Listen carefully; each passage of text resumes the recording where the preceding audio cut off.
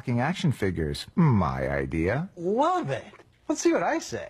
You eat all my beans, nigga?